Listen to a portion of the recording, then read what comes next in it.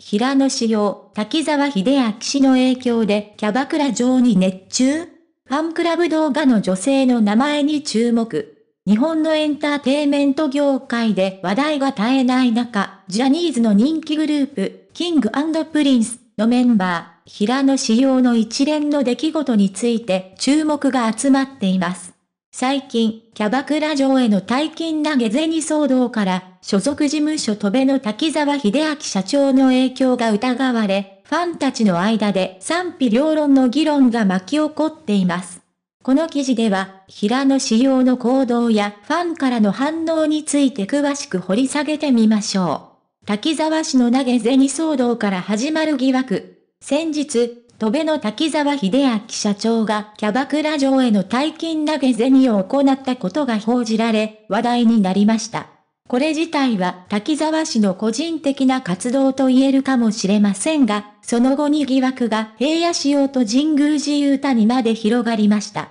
なぜなら、彼らの行動が滝沢氏との関連性があるとされていたからです。平野紫耀の A ちゃん発言とは？滝沢氏の投げ銭騒動に伴い、平野紫耀と神宮寺勇太の過去の言動から疑惑が浮上しました。その中でも注目されたのは、昨年12月に行われた、キングプリンス、ファンクラブ会員限定動画です。メンバー5人で乗馬体験を行った際、A さんと同じ名前のオス馬が登場。すると平野は、A ちゃんじゃないんだ、とつぶやき、神宮寺をチラ見したのです。この瞬間に神宮寺は意味深な笑みを浮かべ、その場面がファンの注目を浴びました。さらに、レギュラー番組、キングプリンスる。でも平野が A ちゃん A ちゃん。トレンコ氏山崎弘成が突っ込みました。当初、これらの発言はただのボケと受け止められていましたが、滝沢氏の投げ銭騒動の影響で、ファンからは疑惑の目が向けられることとなりました。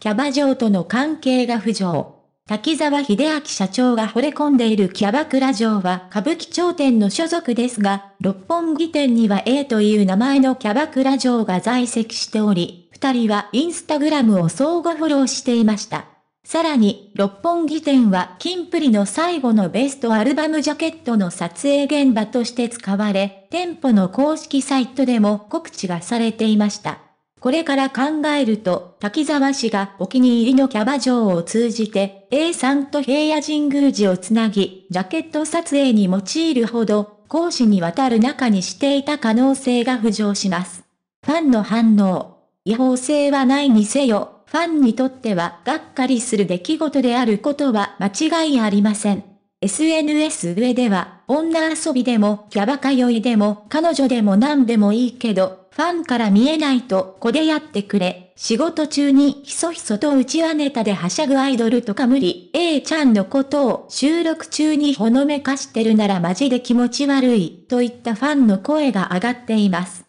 ファンクラブ会員限定動画の映像はジャニーズ退場発表前のものであり、事務所の移籍に関する準備期間があったと考えられます。もしかしたら、滝沢氏との打ち合わせと称して、キャバクラでの話し合いが行われていたかもしれません。これらの出来事は法的な問題を引き起こすものではありませんが、ファンたちの気持ちには影響を及ぼすことは間違いありません。滝沢秀明社長の投げ銭騒動から発展した平野紫耀の疑惑。この出来事がジャニーズの人気メンバーにどのような影響を及ぼすか、今後が注目されます。ファンの期待や支持を失わないよう、メンバーそれぞれが自身の行動に細心の注意を払うことが大切でしょう。